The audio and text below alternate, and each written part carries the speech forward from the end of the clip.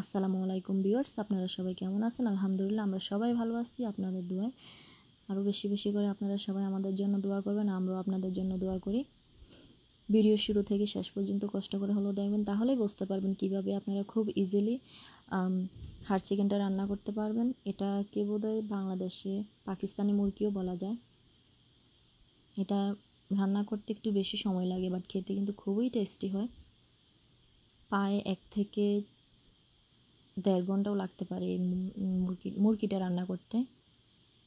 আমি এখানে ভালো করে ম্যারিনেট করে নিচ্ছি মাংসটা। এখানে আমি পেঁয়াজ বাটা দিয়েছি, আস্তা পেঁয়াজও দিয়েছি, তেজপাতা দিয়েছি। সব ধরনের মশলা এখানে দিয়ে মেখে মেখে নিচ্ছি। এটা পায়ে পাঁচ থেকে দশ মিনিট এভাবে রেখে দেব। এখানে আমি আদা বাটা দিয়েছি, জিরা বাটা দিয়েছি, ধনের গুঁড়া দিয়েছি। ঠ্যাঙ্গা দারচিনি লঙ্কা, সব ধরনের মশলাই এখানে দেওয়া হয়েছে। এভাবে রান্না করলে আপনাদের কাছেও মাংসটা খেতে ভালো লাগবে। সো ট্রাই করবেন মাঝে মাঝে বিভিন্ন ধরনের রেসিপি তৈরি করার জন্য।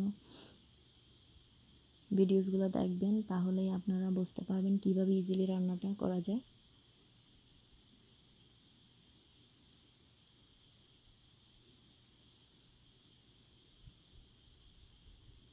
আপনারা মাংস অনুযায়ী মশলাগুলো দিবেন।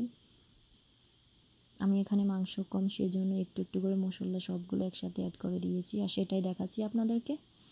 আর আমি কড়াইয়াতে তেলের মধ্যে পেঁয়াজ দিয়েছি আবার একটু দিয়েছি দেন আপনারা না দিলেও সমস্যা নেই। চাইলে দিতে পারেন, আবার না দিলেও সমস্যা নেই। যেহেতু অলরেডি মুরগিতে পেঁয়াজ দিয়েছেন, আমি একটু বেশি পেঁয়াজ দিয়েছি যেন মশলার কী মশলাটা একটু ঘন হয়, বাকি ঝোলটাও একটু ঘন হয়ে যায়।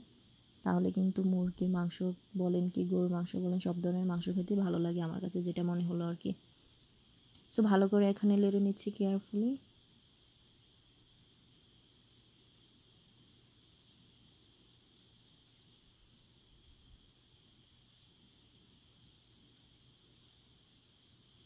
আমার ভাবি হাত দিয়ে দেখাচ্ছিল যে কাঠি দিয়ে না লেড়ে, হাত দিয়ে লাড়লে কি হয়? তাহলে তো বেশি ভিউজ বাড়বে। মজা করতেছিল আর কি। যাই হোক সো ইয়েস ভালো করে নেড়ে নিতেছি একটু কষাই নিতেছি দেন আমি ওয়াটার ঢেলে দেব। আই সেড মাংসটা হতে কিন্তু সময় লাগে, এটা তো পারম না সেজন্য একটু ভালো করে কষাতে হবে দেন পানি দিতে হবে পরিমাণ মতোই।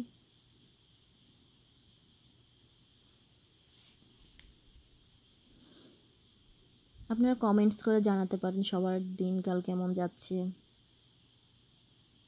যারা কলেজে পড়েন স্টুডেন্ট স্টুডেন্টস তাদের তো অবশ্যই কলেজ বন্ধ এখন।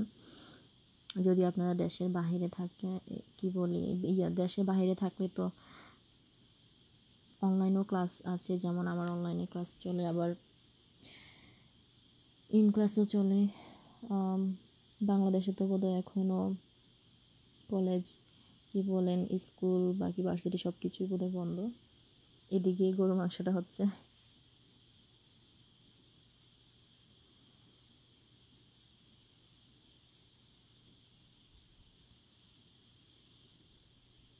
কমেন্টস করে জানাবেন যে কালারটা কেমন হয়েছে।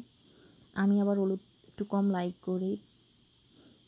আপনারা চাইলে যদি চান একটু কালারফুল করতে চান, তাহলে আর একটু হলুদ দিতে পারেন, সমস্যা নেই। এটা যার যার ইচ্ছে আর কি, যে যেমন লাইক করেন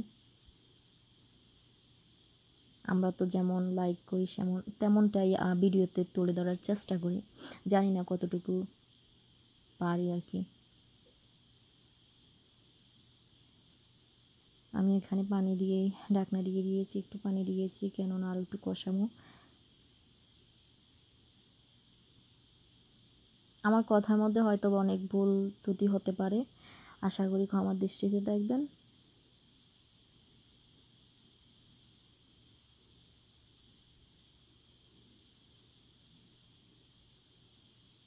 ভালো করে আমি নেড়ে নিচ্ছি।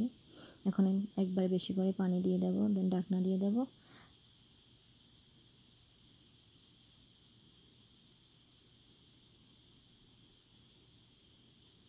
হাট চিকেনটা কিন্তু অনেক ভালো লাগে, দেশি মুরগির মতনই এটা।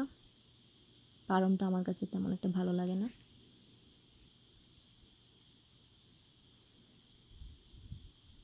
আমার কাছে মনে হলো তেল, কালার সব কিছুই ভালোই দেখাচ্ছে। এটাতে কিন্তু একটু বেশি পানি লাগে, যেহেতু বললাম মাংসটা হইতে অনেক সময় লাগে। এই তো, ডাকনা দিয়ে চলে যাব আমি। মাংসটা হওয়ার আর একটু পরেই চলে আসব। তো এইদিকে আমার আম্মু বাঁধাকপিটা ভেজে নিচ্ছে। তাই ভাবলাম একটু দেখাই আপনাদের। কালার সব কিছুই দেখতে ভালোই লাগতেছে।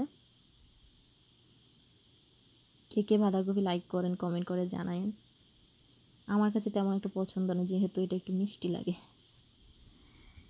এই তো আমার হাট চিকেন রান্না হয়ে গেল। সবাই বেশি বেশি করে আমাদের জন্য দোয়া করবেন, ভালো থাকবেন। আল্লাহ হাফেজ।